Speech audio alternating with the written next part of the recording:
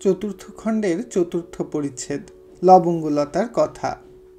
আমি অমরনাথকে জিজ্ঞাসা করিলাম, তুমি কি রজনীকে বিবাহ করিবে? অমরনাথ কহিল, করিব, স্থির। আমি কহিলাম, এখনও স্থির? রজনীর বিষয় তো রজনী আমাকে দিতেছে। অমরনাথ কহিল, আমি রজনীকে বিবাহ করিব। বিষয় বিবাহ করিব না? আমি কহিলাম, বিষয়ের জন্যই তো রজনীকে বিবাহ করিতে চাহিয়াছিলে। অমরনাথ কহিল, স্ত্রীলোকের মন এমনই কদর্য। আমি কহিলাম, আমাদের উপর এত অভক্তি কতদিন? অমরনাথ কহিল, অভক্তি নাই, তাহা হইলে বিবাহ করিতে চাহিতাম না। আমি কহিলাম, কিন্তু বাছিয়া বাছিয়া অন্ধ কন্যাতে এত অনুরাগ কেন?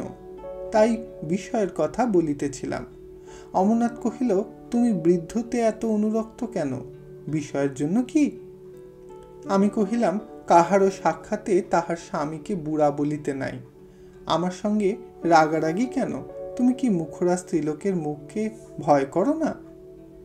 অমরনাথ বলিল, ভয় করি বই কি? রাগের কথা কিছু বলি নাই।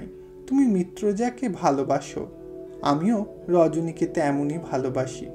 আমি কহিলাম, কটাক্ষের গুণ নাকি? অমরনাথ কহিল, না, কটাক্ষ নাই বলিয়া।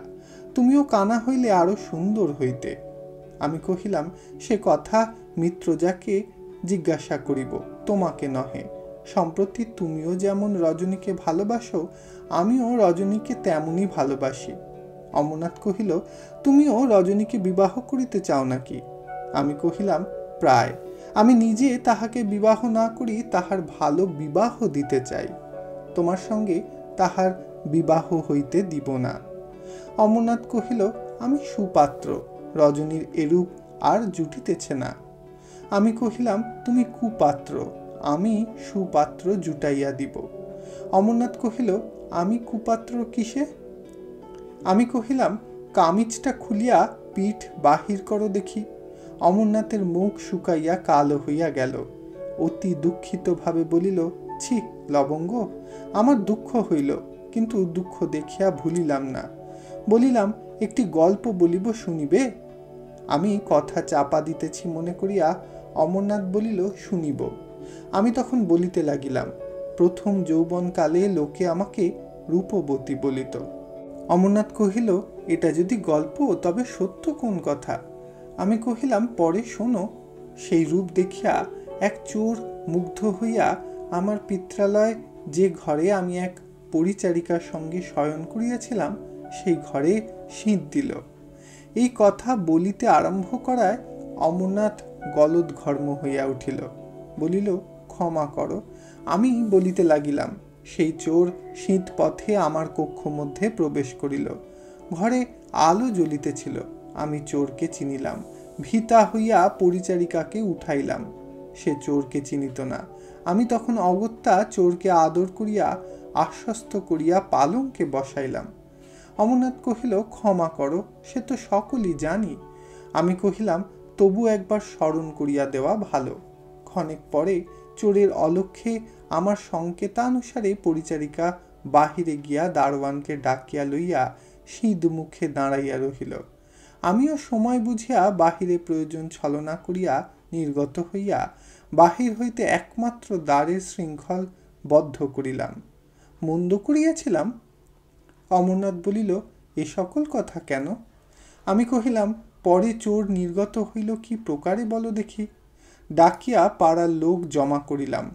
বড় বড় বলবান আসিয়া চোরকে ধরিল। চোর লজ্জায় মুখে কাপড় দিয়া রহিল। আমি দয়া করিয়া তাহার মুখের কাপড় খুলাইলাম না। কিন্তু স্বহস্তে লোহার শলা তপ্ত করিয়া তাহার পিঠে লিখিয়াছিলাম, চোর অমরবাবু, অতি গ্রীষ্মেও কি আপনি গায়ের জামা খুলিয়া শয়ন করেন না? অমরনাথ কহিল, না। আমি কহিলাম, লবঙ্গলতার হস্তাক্ষর মুছিবার নহে।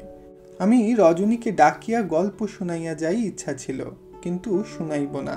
তুমি রজনীর যোগ্য নহে। রজনীকে বিবাহ করিতে চেষ্টা পাইও না।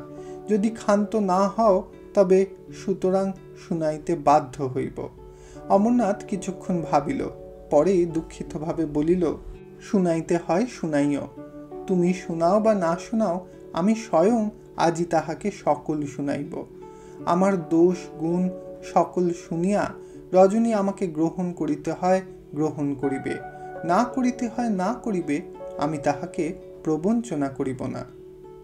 আমি হারিয়া মনে মনে অমরনাথকে শত শত ধন্যবাদ করিতে করিতে হর্ষ বিষাদে ঘরে ফিরিয়া আসিলাম।